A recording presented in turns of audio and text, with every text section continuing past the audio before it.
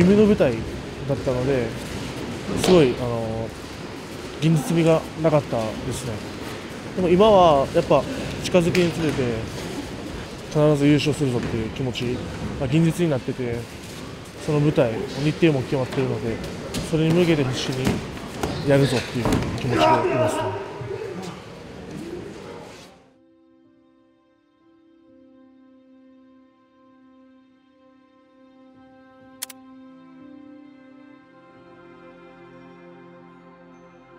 すごい盛り上がってて、まあ、日本よりも全然盛り上がってるし、やっぱりリネール選手が優勝したことで、やっぱ自分の中の熱っていうのもより一層熱くなって、あとはもう去年も敗れてるので、やっぱこの地でしっかり勝ちたいなっていうふうに強く思いましたね。リネール選手を倒さないと絶対オリンピック優勝できないので、やっぱもう時代をま変えるっていうか、っていう気持ちですね。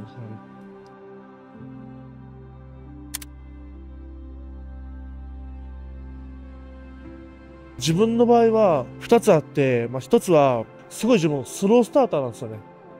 前半めちゃくちゃ動き硬いんですよ。それをまず1本目2本目からガツンと動けるようになること、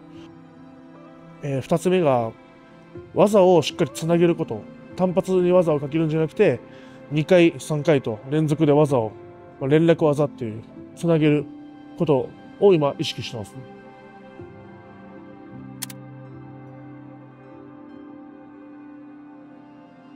去年は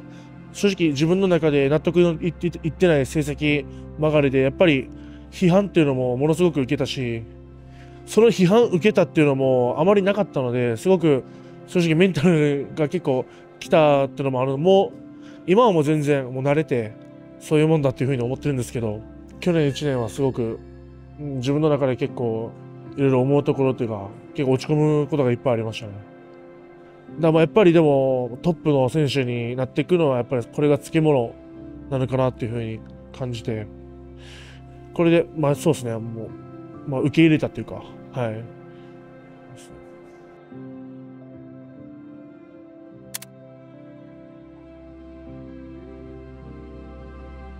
やっぱ自分のお父さんが亡くなったのが本当自分が中1で子供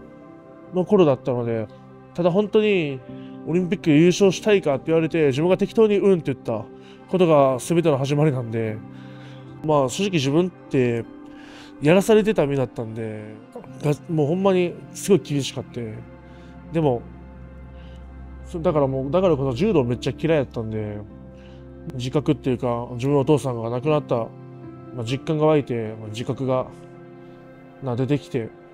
その絶対俺がやらないといけないっていう気持ちが芽生えて稽古を本当に柔道を真剣に取り組むことができたっていうのが一つの、まあ、自分の人生の分岐点なので俺じゃ無理だっていう気持ちじゃあ絶対に動かないと思うし人に言われても変わらないってやっぱり自分が変えないといけない自分が勇気を出していつものいつもよりちょっと違ったことそれだけでも全然違うと思うしそれが一つの勇気なんじゃないかなっていうふうに思いますね。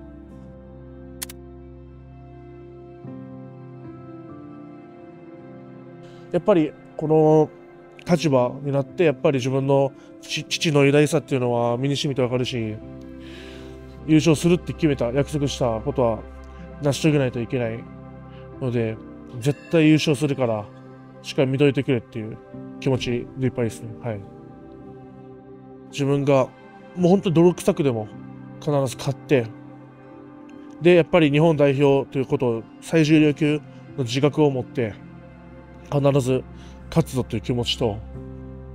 まあ、表彰台に上がって自分が一番上に立って立つ姿をまあ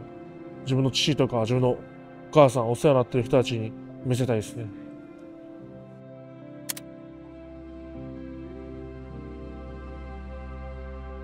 そうですね、まあ、結果はまあオリンピック優勝が一番だと思うんですけどやっぱその中でやっぱり人としてまあ、いかにどうあるべきかっていうもし優勝したこの立場に行ったそれで調子乗ってたら絶対にこの先の人生なんて良くないしダサすぎるっていうかやっぱ応援される選手っていうのは謙虚な気持ちっていうのがあるのでその心を忘れずにいようというふうに思ってます。ちっちゃい頃印象に残ってることが、まあ、よく謙虚になれっていうことをよく言われててまあ本当に子供だったので全然言われたことなんて覚えてるのもあんまないんですよ正直でもすごく鮮明に覚えてるのがやっぱその言葉で自分のお父さんもよくよくいろんな人に聞いたらやっぱすごい腰低くてっていう、まあ、そういうそういう人だったので応援される選手になりたいなというふうに思ってます。